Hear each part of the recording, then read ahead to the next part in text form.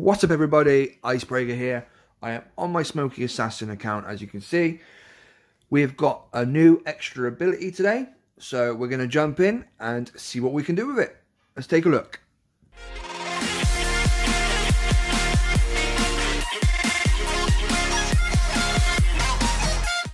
Alright then guys, this is today's extra ability. It is the remote hack.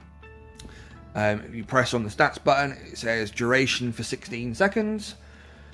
Now, what that does is, if you've got um, the hero Captain Everspark unlocked, you'll know about her universal remote.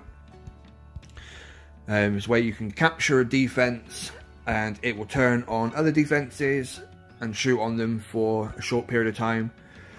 Um, that's what the remote hack is. The gunboat ability is the same feature as that, except you can shoot it on any defense and some protos and stuff um, from the gunboat.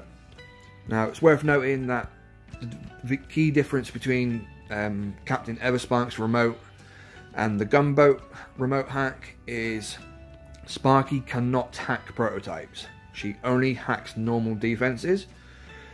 Um, whereas the remote hack we get today can hack some defenses, um, some protos, and all defenses. Um, you can't hack. Uh, where's my weapon there? Um, you cannot hack um, shield gens. You can't hack them ones, and damage amps can't be hacked either. Okay.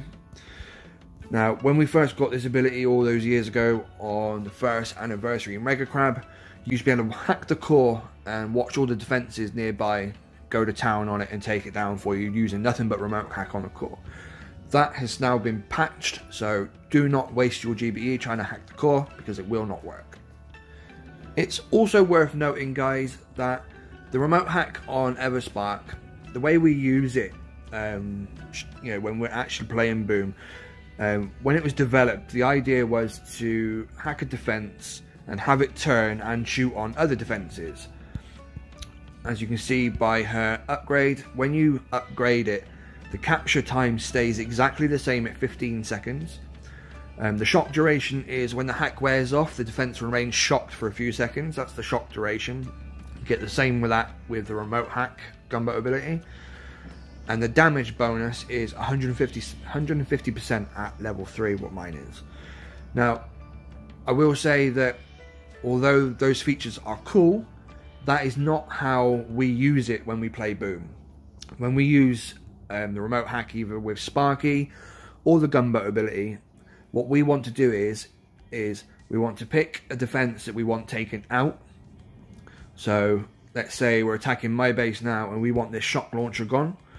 You can shoot the remote hack at it or hack it with um, Sparky's universal remote and all the defenses nearby will turn on it and shoot it and destroy it. So the whole thing of upgrading the remote and using it to use a defense to shoot other defenses or other buildings, it never works out that way. It never plays out that way because all the defenses nearby will turn around and they'll all shoot it at the same time, which kills it off straight away. Usually before it can get a shot off. Um, so don't waste your tokens upgrading the remote because you don't need to do that. Um, as I said, the capture time remains the same each time, so it doesn't make any difference when you use it, um, if you upgrade it.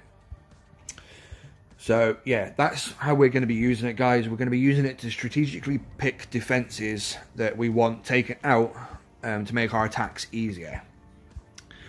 So, let's find a base and jump in and I'll show you what I'm talking about. Okay, guys, so I've picked this one. I've got all grens loaded and Bullit energy drink. I'm going to drop all my troops. Now, normally you'd have to worry about rocket launchers and stuff, but with the remote hack, we can drop some hacks down on the defenses. And as you can see there, they turn around and take out that defense that I had that I have hacked. As you can see, nine times out of ten, um, the defenses will turn around and destroy it before they can get a shot off.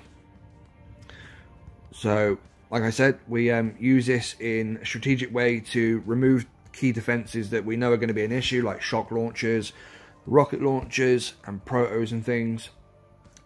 Um, it's just a better way of using it. And as you can see, that made that hit really easy. It didn't use any barrage. Didn't use anything extra, literally just hacked a couple of um, rocket launchers and the Simo, and it goes down. Obviously, the Simo being a proto defense, which you can hack with the gunboat ability and not Sparky's remote. Okay, so on this one, I'm going to go with the same attack strategy again. Bullit out front with, with the Grens in behind. And as you can see on this base, we've got a grappler, which would normally totally ruin this attack because it would snatch Bullit and leave the Grens unprotected. But with the um, remote hack, you can drop a hack on it and watch all the defenses take it out. Uh, same with the Doom Cannon. They'll take all that one out too. And the shock blaster. Just like that. So straight away we've turned this base into um, a base with no prototype defenses and we haven't even dropped any troops yet. So let's drop our troops. And now it's just a case of managing you know your GBE your shocks and stuff or anything that flanks the troops and as you build up more GBE you can shock the shock. You could um, hack the shock launchers if you wanted to. We'll see there being the only thing that will slow Bullit down and potentially um, help the defenses kill him off. So we'll hack now the second one. And that makes that base really, really easy. Alright guys, I'll show you one more attack. And like I was saying before, there are some protos you can hack which is most of them, but the two that you can't are damage amps and shield gens. Now, originally when we got the remote hack, you could hack um, the shield gens and the nearby defenses would take them out for you, but that was patched out at the same time as hacking the core was. So just to demonstrate, I'll drop the remote hack on the shield gen, and as you can see, nothing happens. That's because that doesn't work. It only works on offensive, defensive protos, um, which is opposite of what a shield gen is, which is a defensive prototype, um, whereas the offensive defensive prototypes are the ones that kill troops.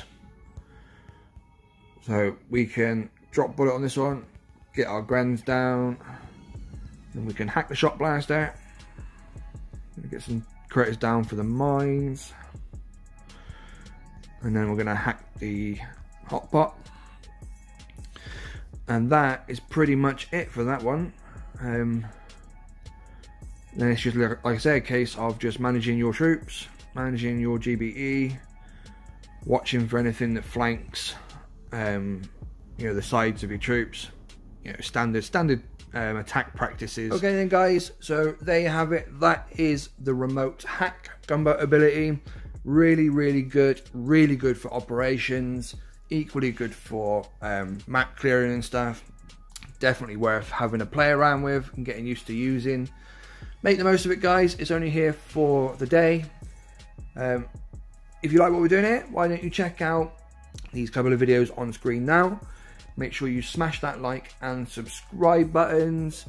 And if you want to support us, why don't you check out our Patreon page where you can unlock exclusive BBTFRG perks um, and yeah, that's it, guys. I will catch you for the next one. See you later, guys.